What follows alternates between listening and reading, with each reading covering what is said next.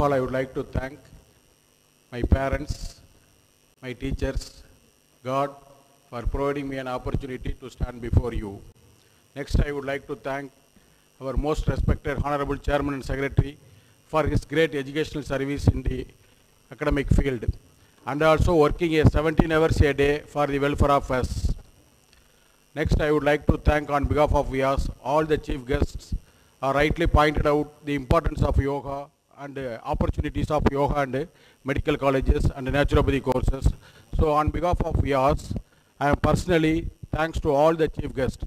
Next, I would like to thank on behalf of VIAS, Swamy Vivekanandha Naturopathy and Medical College Hospital, principals, faculty members, head of the departments, and future doctors.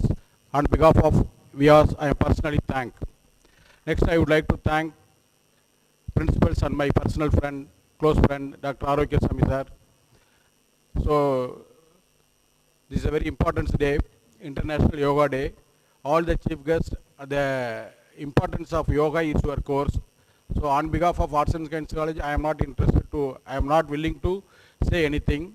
So, everything is rightly pointed out, all the chief guests. So, please be practice, please support and to improve the future generation with your uh, lifestyle. Thank you, the very good opportunity for me. Once again, I am personally thanks to Principal of Naturopathy and Medical College, Madam. Thank you, Madam.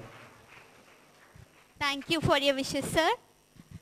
Now I take the chance of inviting our principal, Dr. S. Arokyasamy, sir, to address the gathering. Welcome you, sir.